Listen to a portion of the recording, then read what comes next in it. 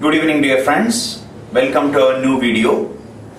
This is a video to explain how to learn about a government scheme in detail in an analytical manner and how to memorize it for your prelims and for mains. As you know, government schemes are a most important area as far as a civil service aspirant is concerned. Even though almost all questions in UPSC civil service examinations, so especially prelims, are supposed to be unpredictable, you can predict certain areas from where you can expect more questions. And this year, probably there can be more questions from government schemes because the incumbent government of the country has run their last full budget this year in 2017-18. They are expected to face the general elections before the next budget or after the just after the next budget so that they, they would won't get enough time to present a complete budget.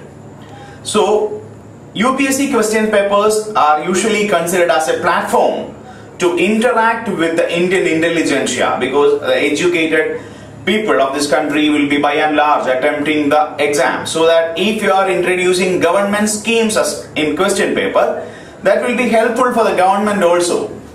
And this particular reason is actually reinforcing the possibilities of expecting more questions from the government schemes part of economics in this year. You can specifically categorize it into economic current affairs and from that you can expect certain questions this year. So around 596 active schemes are there which is done pan-India grounds. On a pan-India basis there is around 596 schemes which is run currently. That means a civil service aspirant is supposed to go through all these schemes and must be in a position to answer whatever is being asked from any of these schemes. So you may feel it very difficult and you may feel that like how to memorize all these things.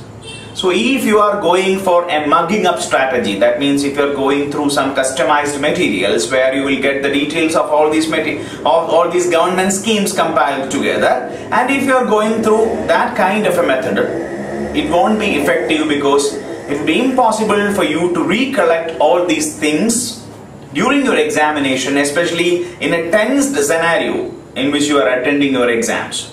So how to learn it in an effective manner, that is what we are trying to explain in this video. For that, we have taken Pradhan Mantri Krishi Sinchai Yojana as an example. So you might have heard of Pradhan Mantri Krishi Sinchai Yojana, which is a very important scheme introduced by the current government. So what is it all about?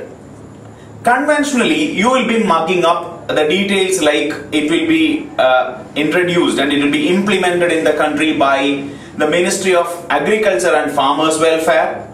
And it is typically a micro irrigation program and the allocation for this particular scheme is so and so. These kind of factual aspects will be mugged up and you will be going to face the examination.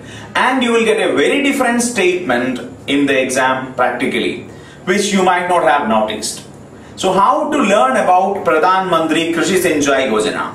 So to begin with, you have to understand what is the context in which Pradhan Mantri Krishi Sinchai Yojana is being introduced in this country. So water use efficiency WUE this is the term which you are supposed to focus when you are talking about Pradhan Mantri Krishi Sinchai Yojana. So you'll be wondering what uh, some parameter like water use efficiency can do about a government scheme. Please understand water use efficiency is the efficiency or ability of a plant to convert the water which is irrigated water which is available for that plant into product or the grain which is produced out of that plant. That means the effectiveness of irrigation is most important to have better water use efficiency. And you know, in our country, just 48% of the total cultivable land is under irrigation. And most importantly, you have to notice the fact that irrigated land is always more productive than unirrigated lands. That means if you are irrigating your lands more, that means your country's agricultural productivity will be increased. But water is a scarce resource. That means the availability of water in this country is not uniform and you have to allocate it wisely to ensure more productivity in the fields. So water use efficiency is a key term. That means to improve water use efficiency is highly important for any country. And please note this fact, water use efficiency in India is just between 30 and 40 percentage that is one of the lowest in contemporary world. Consider China, which is our neighbor and which is another Asian country, which has a 55 percentage water efficiency when compared to India's 30 to 40 percentage. 55 percentage is much more effective than our country. That means this scenario requires a paradigm shift. That means our water conservation strategies and our irrigation methodology and technology must be upgraded in such a manner that water use efficiency of the country will be improved. So for that an innovative irrigation technology is to be introduced in India's agricultural land, India's cultivable land and Pradhan Mantri Krishi Sinchai Yojana is focusing on such a paradigm shift that is to convert India's irrigation into micro irrigation method. And what is the importance of micro irrigation method? You just go through the facts that is if you are introducing micro irrigation in your fields okay that means there will be 40 to 70 percentage increase in the water use efficiency of the country. That means 40 to 70 percentage of irrigated water, water which you are using for irrigation will be saved if you are following the method or technology of micro irrigation. Along with that, 10 to 17 percentage of energy you know energy is a very prized possession for an energy starving nation like India which is facing 18 hours power cut in rural part of the country where to to save. That means you are creating a megawatt of energy. That means without constructing more dams without spending more money you are simply saving 10 to 17 percentage of the energy consumed by. That is also a subsidized commodity which is utilized for agriculture in an unproductive manner which is saved 10 to 17 percentage. Again there is a 15 to 50 percentage improvement in the consumption of fertilizer. That means a reduced consumption of 15 to 50 percentage of agriculture. Again another subsidized commodity subsidy bills to agriculture. That means fertilizer subsidy of this country is actually very high. That means we are spending a lot of money on fertilizer subsidy. 15 to 50 percentage fertilizer consumption can be reduced if you are properly irrigating your field using micro irrigation methods. Now 30 to 40 percentage labor cost can be reduced if you are irrigating your land properly using a micro irrigation technology.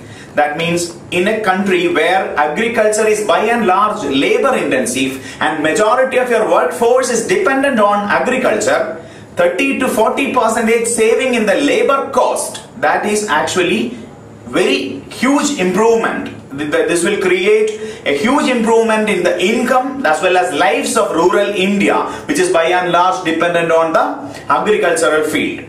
You just imagine all these things can be achieved by introducing a micro irrigation program in this country. And Pradhan Mantri Krishi Sinchai Yojana with a declared objective of per drop more crop is a well defined scheme for introducing micro irrigation into the fields of our country. That means we are going for a paradigm shift. So if you know all these facts and stories behind introduction of Pradhan Mantri Krishi Sinchai Yojana rather than the ministry, the implementing ministry, what is the financial allocation, if you are mugging up these kind of stuffs and going for examination, your questions will not be premised upon any of those facts particularly then it will be very difficult for you to answer in the prelims. And do understand there is no different approach required for prelims and mains if you are mugging it up, if you are understanding it properly. If you are mugging it up rather, then that will create problems in your mains, especially because you won't have conceptual clarity which is required from you in mains examination. So taking Pradhan Mantri Krishi Sinchai Yojana as an example, how to learn other schemes, you have to understand from this particular video. So you must go a little bit deeper into the requirements of such a scheme in this country and what sense it will be it will create a better India. If you know this fact along with mugging up all these details about the scheme then that will make your preparation more effective and your preparation will be more efficient. So this is the way which you are supposed to learn about a scheme. Inspirit is taking this as an opportunity to introduce before you what is the requirement for learning government schemes from your classrooms. So we are introducing a program from 9th April 2018 that is from next Monday and there in this program through this program we will be introducing all the relevant government schemes before you in a detailed and analytical manner which will help you to recollect it and memorize it during your prelims examination. So we are inviting you to join the program and know about all the government schemes and most relevant topics from India yearbook which will add maximum value to your preparations for prelims 2018. Thank you.